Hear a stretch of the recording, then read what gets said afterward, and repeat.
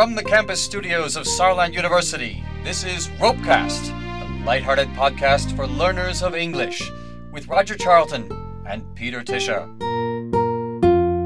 Hello, Ropecast listeners, and welcome to a new episode. In fact, this is episode number 101. Episode 101. I wanted to talk about that number, actually. Uh, 101? Yeah, because it has a special meaning in English that our listeners may not be aware of. It means a beginner's course, something that everybody should know. Did you know that? You're thinking about universities, I think, yeah? Yeah, that's where it comes from. Actually, this started somewhere around the late 1920s in Uh-huh. the US. I've come across it like uh, Physics 101 will be a beginner's course, things like that. Right.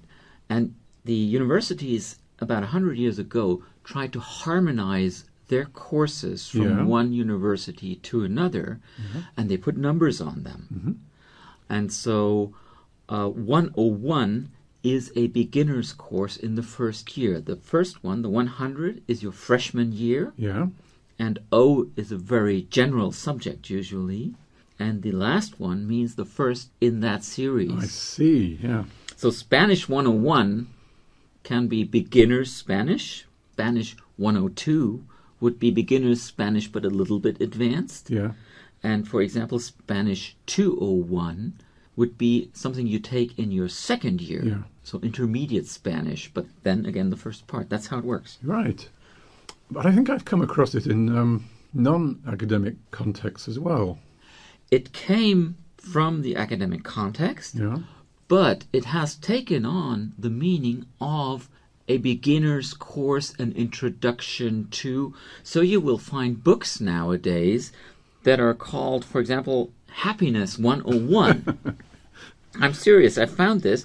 Happiness 101 13 Simple Interventions for a Happier Life. That's a how to book on how to be happy and so on.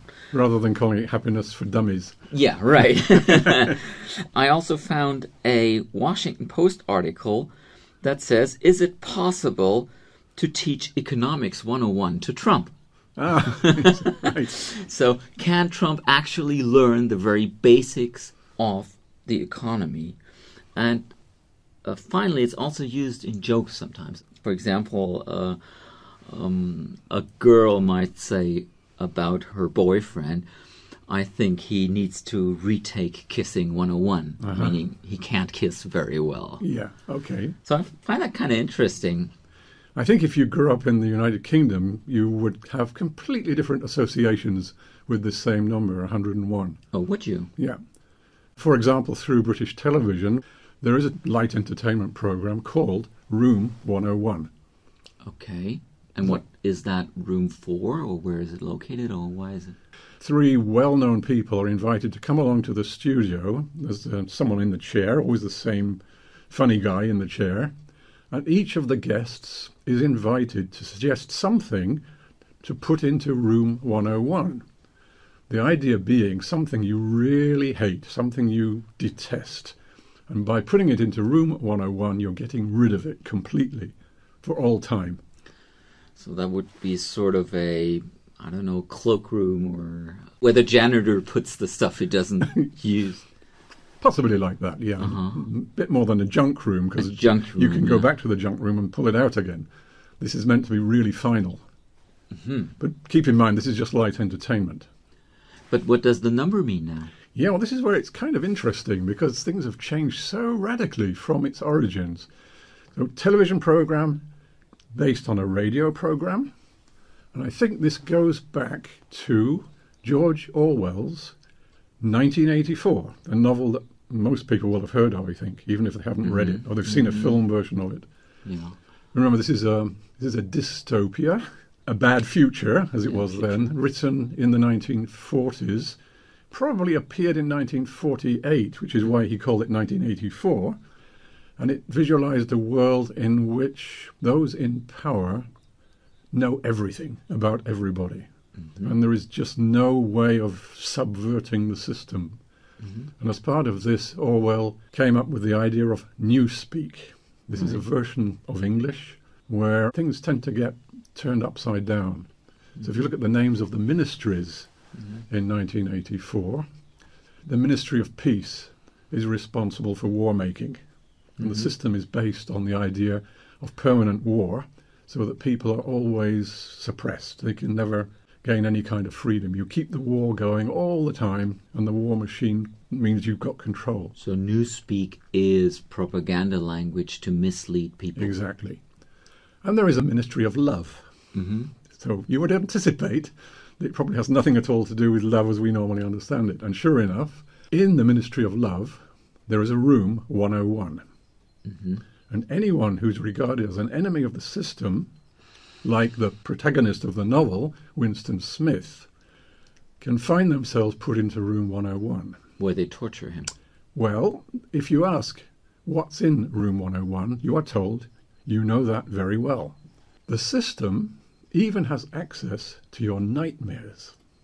Mm-hmm. And they then know what you most are afraid of. Okay. In the case of Winston Smith, it's rats. So his room 101 has two ferocious rats in it, which will be able to eat his face. In fact, the protagonist gets out of this by betraying his lover, Julia, and she's the one that ends up in room 101. So the idea of room 101, you see, is thoroughly and completely negative. hmm And it's interesting that that then becomes an entertainment program on British television. But has this become an expression in the English language? Oh, yes, now? very much. I mean, Room 101 is uh, where you put things you don't want. Everyone is aware of this through these several series of the television program. So You if I if I said I hate paperwork, I could say Put it in Room 101. Yeah. okay, okay. And I think just a final little interesting point where did Orwell get this number from? Because it seemed completely arbitrary. During the war, when there was, of course, propaganda, Orwell worked for the BBC, the British Broadcasting Corporation, in London, and he often had to go to a room 101, which was a conference room, and sit through incredibly boring meetings. So this was his revenge on the BBC to name Room 101 as the torture chamber. Oh my God.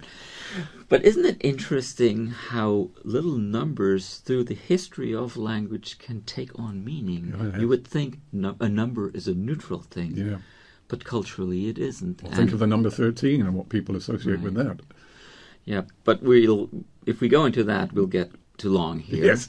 And on top of that, we actually promised last time that we would do another podcast on dictionary use, Yeah. Where incidentally you would probably not find 101 as an entry, but a lot of other things. Mm-hmm. And I would like to call it quits for today. Yeah. And next time we'll talk about Let's make, dictionary yeah, let's use make that 102. 102. Good. Okay. Bye bye. Bye from me too. You've been listening to Ropecast, brought to you by Saarland University, featuring Roger Charlton and Peter Tischer. Tune in for the next edifying episode on your podcast dial.